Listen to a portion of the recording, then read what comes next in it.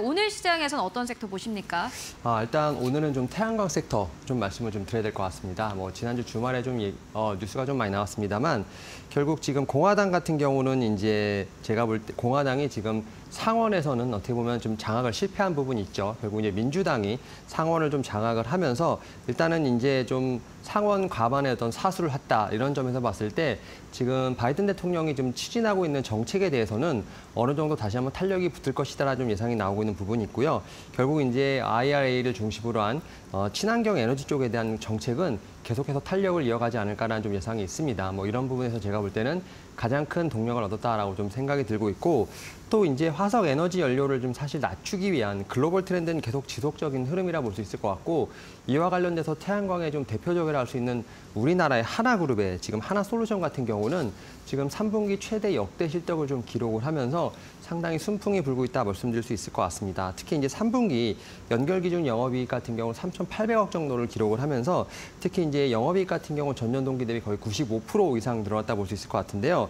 결국 이제 신재생 에너지가 어떻게 보면 대세라고 좀 말씀을 드릴 수 있을 것 같습니다. 특히 이제 이 탄소 중립과 관련된 부분들 또 에너지 안보의 좀 중요성이 커지면서 사실 뭐 미국이라든지 유럽 쪽으로 지금 이제 매출처는 충분히 다변화되고 있다라 볼수 있을 것 같고 이런 측면에서 뭐 하나 솔루션 같은 경우는 상당히 좋은 매출을 좀 기록을 하고 있다라 볼수 있을 것 같습니다. 여기에 이제 하나 솔루션 자체가 이제 수익이 늘어난다는 것 자체는 결국은 이제 신재생 에너지, 특히 이제 태양광의 어떤 부활을 알릴 수 있다는 측면에서 봤을 때 저는 충분히 이런 좀 태양광 섹터가 뭐 이번 주에도 좀 다시 한번 바람을 일으킬 수 있는 부분이 있지 않을까라는 생각을 하고 있고요.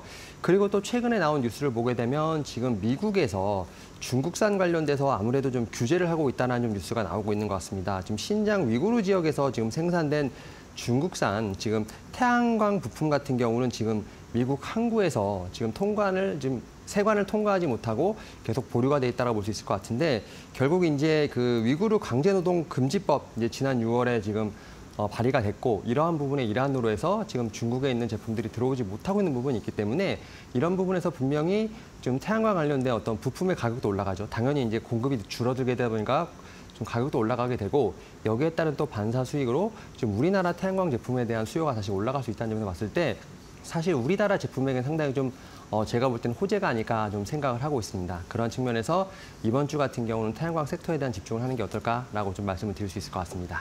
네, 미국과 중국 간의 갈등 안에서 엮인 태양광의 경우에는 어, 한국 기업들이 오히려 수혜를 볼 수 있다라는 의견 듣고 왔고요. 그렇다면은 그 안에서는 어떤 종목 보십니까? 네, 일단은 앞에서 제가 하나 솔루션 말씀을 드렸고 이제 저는 이제 같은 대장주로 여길 수 있는 현대 에너지 솔루션을 좀 말씀을 좀 드릴 수 있을 것 같습니다.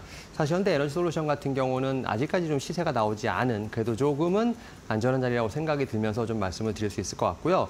현대 에너지 솔루션 같은 경우도 하나 솔루션과 마찬가지로 3분기에 어닝 서프라이즈를 좀 기록을 했습니다. 특히 이제 매출액 같은 경우 한 2,600억 정도, 영업이익 같은 경우 303억 정도를 좀 기록을 했는데요. 특히 매출액 같은 경우도 전년 동기 대비 한 80% 이상 성장을 했고요.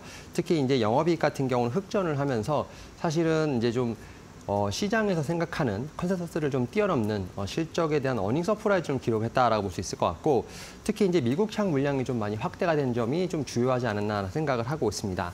그리고 이제 앞에서 말씀드렸던 것처럼 미국의 지금 위구르 강제노동 방지법에 의해서 사실은 이 관련된 어떤 제품들의 가격이 지금 올라가고 있다고 볼 수 있을 것 같습니다. 지금 태양광 모듈 물량 관련돼서는 지금 매월 사상 최고치를 경신할 정도로 지금 물량이 많이 몰려들고 있는 상황이기 때문에 이러한 측면에서 분명히 혜택을 받을 수 있지 않을까라는 좀 생각을 하고 있고 최근에 보게 된다면 이제 IRA 통과 관련된 부분으로 해서 태양광 업체들에 대한 어떤 세제 혜택이 좀 상당히 늘어나고 있다고 보실 수 있을 것 같습니다. 특히 이제 이러다 보니까 태양광 설치의 수요가 좀 상당히 강세를 보이면서 모듈 가격이 상, 상승한다 하더라도 미국 내에서는 어떻게 보면 이제 뭐 화석 여로 화석 에너지에 따른 어떤 이제 전력 요금 상승이라든지 이런 세액 공제 같은 부분이 같이 좀 합쳐지면서 제가 볼 때는 가격의 상세를 조금 세제 혜택으로 누를 수 있는 어떤 그런 효과까지 누릴 수 있다는 점에서 봤을 때 저는 이러한 부분이 4분기까지도 이어질 수 있지 않을까라는 좀 생각을 하면서 3분기에 어닝 시즌은 어떻게 어닝 서프라이즈를 기록했지만 4분기에도 어닝 서프라이즈가 기대된다라고 보시면 될 것 같습니다. 그에 따라서 4분기에도 높은 수익률 유지된다 볼 수 있을 것 같고 또 한 가지 또 말씀을 드리면 지금 중국 같은 경우는 뭐 셀이나 모듈 업체들이 상당히 지금 주가가 높은 상황인데 비해서 지금 현대에너지 솔루션 같은 경우는 상대적인 저평가라는 부분이 있기 때문에 이러한 측면에서 하나의 좀 매력이 되지 않을까 생각을 하고 있습니다. 일단 뭐 매매 밴드를 좀 말씀을 드리면 현재가에 공략을 하는 걸로 하고요. 시초가에 공략하도록 하고 목표가는 6만 6천 원, 손절가는 5만 2천 원 제시해 드리도록 하겠습니다. 네, 현대 에너지 솔루션의 경우에는 태양광 안에서 아직 시세가 나오지 않은 기업이기 때문에 지금부터 주목을 해봐도 좋고 4분기도 역시나 마찬가지로 실적 괜찮을 것이다라는 전망 함께 듣고 왔습니다. 네, 지금까지 교보증권의 윤여민 팀장과 함께했습니다. 고맙습니다. 네, 감사합니다.